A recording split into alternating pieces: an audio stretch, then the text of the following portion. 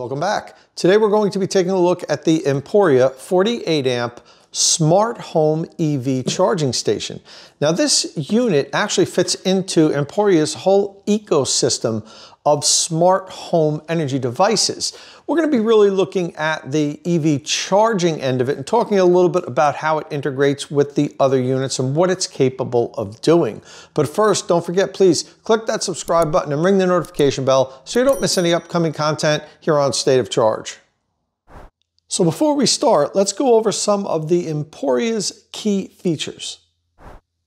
The dimensions are 12 and a half inches by 9 inches by 3.4 inches.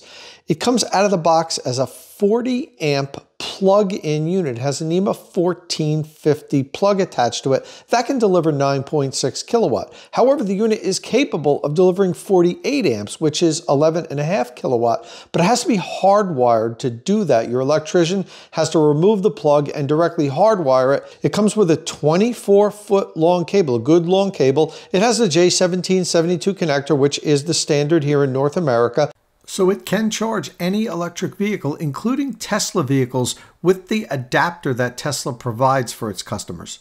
It has a NEMA 4 enclosure. That's very good. That means it's rated against even blowing rain and snow. The enclosure will keep moisture out. It has an operating temperature of between 122 degrees Fahrenheit and negative 22 degrees Fahrenheit, which is 50 Celsius to negative 30 Celsius. It's a Wi-Fi connected smart charger. It is UL listed. It's also Energy Star rated and comes with a three-year warranty. All right, now let's open the box and see what comes inside.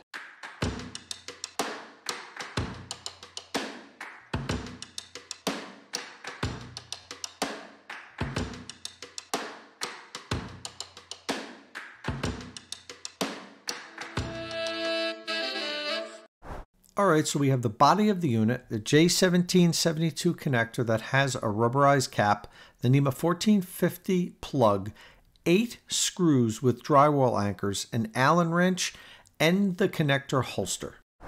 Now the bracket that mounts the unit to the wall is already attached to the back of the unit. There's four screws, two on the top and two underneath. I've removed three of them already. Let's remove the last one here. You need a regular Phillips head screwdriver to do so. That's not included, obviously. And here's the wall mounting plate. Now the interesting thing about this is you simply mount it on the wall here. You've got four holes to mount it. You mark them off and Emporia includes eight screws and eight drywall anchors, as I showed you, but there's only four holes to mount the mounting plate for the unit. That's because the connector holster can either be attached to the unit you basically slide it into these grooves here and it locks in. And then this screw here that you screw into the wall is going to really secure this unit here. So you screw that in there. You got the three more holes here. Now it's attached. But Maybe you don't want to have the connector holster right at the unit itself. You can actually put this anywhere in the garage. Maybe you want to have it hanging right next to the charge port of your car on the other side of the garage. You can do that. You can mount the unit on the wall and then take this with the other four screws and anchors that Emporia includes and mount this anywhere you want in the garage. So that way you can literally have it right where your charge port is. You just take it off the wall, plug the car in. Next up, let's take a look at the cable deep freeze test to see just how well the Emporia's cable performs in very cold weather climates. Now in this freezer here, I put the Emporia 24 hours ago. This is a commercial ice cream chest, so it's even colder than a regular freezer. As you could see here, we are pulling negative seven degrees. Oh, just dropped down to negative 6.5 degrees. And I actually opened this door a little while ago. It was negative 10 a minute ago. So let's pull this unit out now. Let's see how well the cable performs.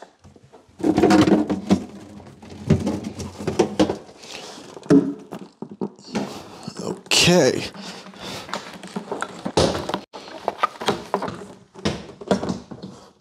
This guy hung up.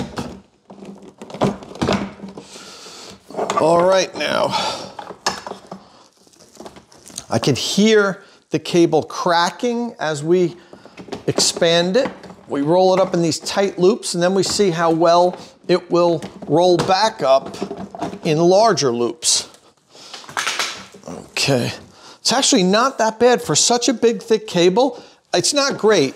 Uh, and I have a feeling the fact that the because the cable's so big is what's partially making it fight me a little bit. But you see, this isn't terrible.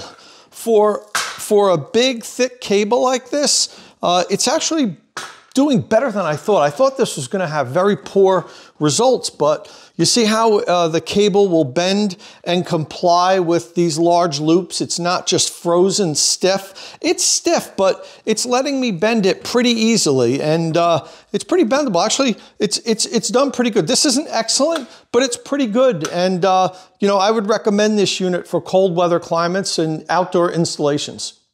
Okay, now that we have the unit installed on the wall, let's take a look at it. I elected to use the plug-in version of it not directly hardwired, and I do that for all the reviews here. But as you'll notice here, it has a really long dongle here with the 1450 plug on it. It's almost two feet long. That's longer than most chargers that we review here do. And that gives you the flexibility of maybe not having to install the unit right on top of the plug. It could be to the left, to the right, above it, below it. So it gives you a little bit of flexibility there.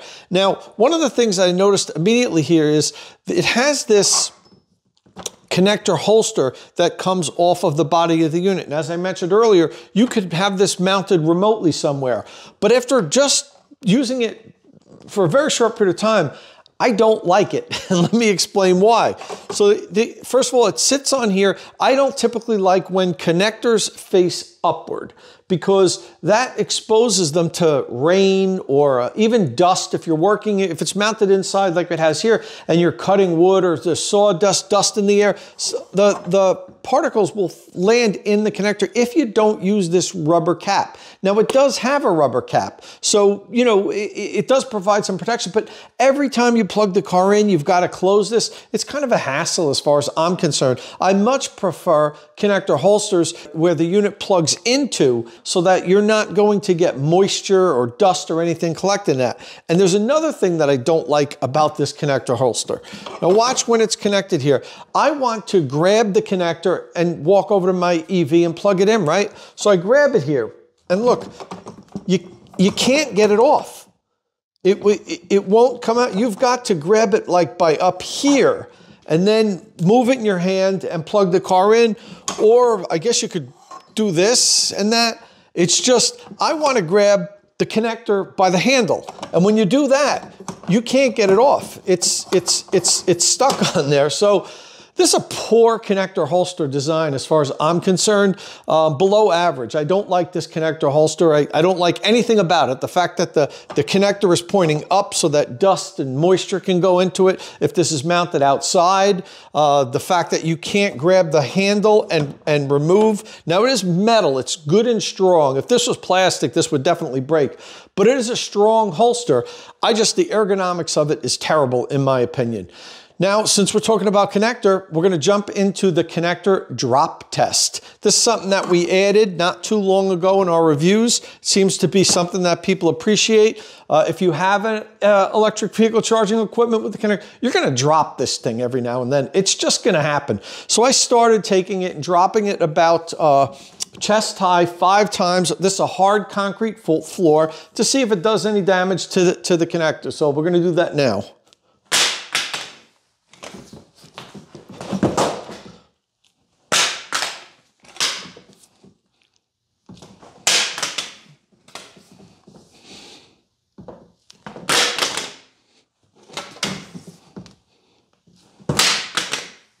All right, that was five. So, uh, well, there's some scuff marks on it for sure, but it's in great shape. This is a, a well-made, strong connector. It's not rubberized. There's no rubberized grip, which uh, I like. So um, I, I don't I'm not going to kill this. It's not a bad connector. It seems like it's well made. I just wish that the handle here was a little rubberized. I like to grab a little bit of a rubberized handle. Just have grooves for your fingers. So it's it's pretty good. It's not it's not terrible, but um, you know they, they they can improve on the connector a little bit. But this isn't a bad connector. But that's a bad connector holster. Definitely not going to get any points for the connector holster here. But it did pass the connector drop test. The Emporia has a long 24 foot cable, one of the longest cables you'll find on electric vehicle charging equipment. So it's going to get some points in our charger rater for that. It is, however, very thick. I measured this cable to be 20.3 millimeter. Now I compare that to the ChargePoint Home Flex that also can deliver 48 amps, and that cable is only 17 millimeter. And the thickness and the weight of the cable does affect its everyday usability when you're plugging in and unplugging your vehicle every day. You know, you want something that's easy to maneuver, even if you don't live in a cold weather area. And the Emporia's cable is a little bit thicker and heavier than I'd prefer. Out of the box, the Emporia comes with a NEMA 1450 plug. And if you use it as a plug-in unit, it can deliver up to 40 amps to your electric vehicle, which is 9.6 kilowatt. But if you want it to charge faster, you can hardwire it. And in doing so, now it can deliver 48 amps. But you do need to have an electrician open up the back of the unit. You do that by removing eight Allen screws, and they're gonna have to remove the plug and hard, directly hardwire it. Now, I urge you not to do this yourself. Get a qualified licensed electrician. I've seen so many instances where people have done these things themselves and then ended up with, at the very least, a burned out unit or a burned outlet that they didn't tighten the connections. Electricians know all the proper codes. They, use, they know what wire to use. They use commercial grade outlets, not something that you just buy at a local hardware store that can just burn up from continuous use. And you know, we've partnered with Qmerit here on State of Charge. Qmerit is the largest installer of electric vehicle charging equipment in North America. And I partnered with them because I've had so many people ask me, Tom, okay, you've helped me select the right charging equipment. Now who installs it? And I got so much positive feedback about the Qmerit network that we came to an agreement for them to sponsor this channel and they are my recommended installer. You can follow the link in the description of this video to the Qmerit website for a free no hassle, no obligation estimate to install your electric vehicle charging equipment. Whether it's the Emporia or a different unit, it doesn't matter. They can install anything. Now I mentioned out of the box it comes as a plug-in unit that can deliver 40 amps. But if you do have an electrician directly hardwire it, you need to go into the Emporia app and change the setting so it'll deliver 48 amps because the default setting is 40 amps. You can actually adjust the power all the way down to 12 amp if you don't have that extra capacity in your house, you don't have a circuit that can provide you with full 40 amps, there's no internal dip switch inside the unit, which some electric vehicle charging equipment has. This is all done through the app, but I urge you, make sure you do not make a mistake and check off 48 amps if you're charging from a NEMA 1450 outlet because you're gonna overload the circuit if you do that. And speaking of the app, the Emporia is a Wi-Fi connected smart charger. So let's take a look at how you connect it to the app. The first thing you need to do is download the Emporia app. Then you need to pair it with your charger. Emporia uses this app for a number of other home energy devices, so you need to select the EV charger option. It then asks you if you need help installing the unit. We've already done that, so I selected go directly to setup. From there, you need to grant the app access and give it a couple of seconds to find your charger's Bluetooth signal. Once it appears, simply click on it and it will begin to connect to the device. It will then ask you for permission to know your location, and you can choose whether or not to give them your precise location or just a general location. You'll then see your Wi Fi network listed, and you have to enter your password. The app will then connect you to the Emporia cloud. You can then name the charger if you'd like and enter the type of EV that you drive. You can see at the bottom, it defaults to a 50 amp circuit for 40 amp continuous power delivery. That's where you would need to change the power output if you wanted the unit to deliver less power or if you hardwired it and want it to deliver the full 48 amps. The app also reminds you that the circuit that the charger is on needs to be rated at 125% of the maximum power you'll be charging at. That's why a 50 amp NEMA 1450 outlet is only allowed to deliver 40 amps to the vehicle. If you have an electrician hardwire the unit, then it needs to be on a 60 amp circuit to deliver 48 continuous amps. When you're all done, the app will check for any firmware updates and you're ready to charge your EV.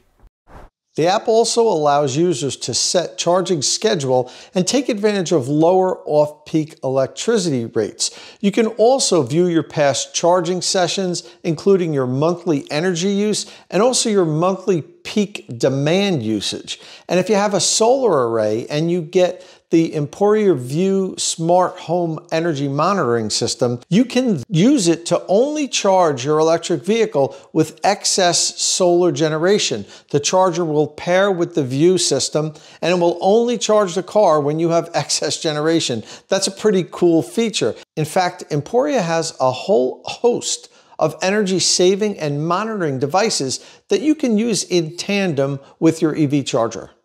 And finally, let's talk price. Now, when the Emporia hit the market earlier this year, it was priced at a very low $399. And because it was such a good price, a lot of my followers reached out to me and said, Hey, Tom, have you seen this new unit yet? It's only $400. Please review it. So I reached out to Emporia and I was going to review it. However, it wasn't UL listed at the time.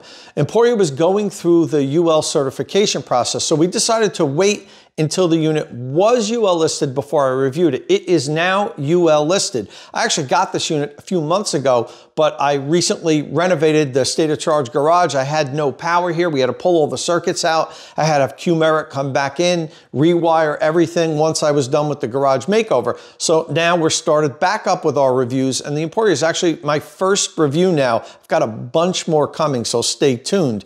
However, that 399 original price no longer stands. It's now $499, 25% more. And it wasn't really because of popularity and Emporia just decided to raise the price. It really was because of supply chain issues and current inflation. And I've talked to Emporia about this at great length. And I'm seeing this across the industry. A lot of the charging equipment that I reviewed recently is now 50, 75, 100 dollars more. It's just a fact of life today. The in, with inflation and supply chain problems, the parts cost so much more for them to put these things together, so they have to pass it along somewhere. However, I did talk to Emporia and they said if things do settle back down, they may be able to cut the price back a little bit some point in the future. But in any event, even at 499 I think it's a very good deal. Uh, you know, take a look at what's out there for $500. That's a 48 amp Wi-Fi enabled smart charger that's UL certified, comes with an app and uh, Energy Star rated, long cable. You know, I think it's a pretty good value where it is right now. But now let's take a look at exactly how it's scored. And to do that, first we're going to go to our charger rater. All right, well, first take a look at the cost and value category. At only $500, the Emporia is a good deal. We get 18 points in that category. Next, power and weatherproof rating. The Emporia finishes up with 22 points. Very good score for that category. Next up is construction and durability. We only ended up with 17 points in that category. I think the connector holster being poor hurt it there. Smart, non-smart category ends up with 18 points, good scoring. And safety certified and warranty. It has a three-year warranty, so it ends up with 18 points, giving the Emporia a grand total of 93 points, an excellent score. And that works out to 4.65 stars out of 5. I also like to offer my own personal opinion and give it a score because not everything can be quantified by points. My personal score for the Emporia is 4.55 stars, making the average between the Charger Rater score and my score 4.6. An excellent score, one of the highest ratings we've ever given here on State of Charge. This is a very good unit, and with some minor tweaks, it can be an outstanding unit. So let's take a quick look at some of the hits and misses. Some of my hits are, it's a powerful 48 amp unit. It's a very good price and it has excellent add-on features through the Emporia ecosystem. You can set this thing up to have a lot more functionality if you buy additional Emporia products. Some of the misses are it has a terrible connector holster. It has a thick, heavy cable and it's not Amazon Alexa or Google Assistant compatible like some of the latest Wi-Fi connected smart chargers are. All right, well, that's a wrap on our Emporia Home EV Smart Charger. Very good score, very good unit at a good price. and it's one of our recommended units here on State of Charge. If this is your first time here, please don't forget, click that subscribe button and ring the notification bell so you don't miss any upcoming electric vehicle charging equipment reviews and EV news and reviews. And as always, thanks for watching.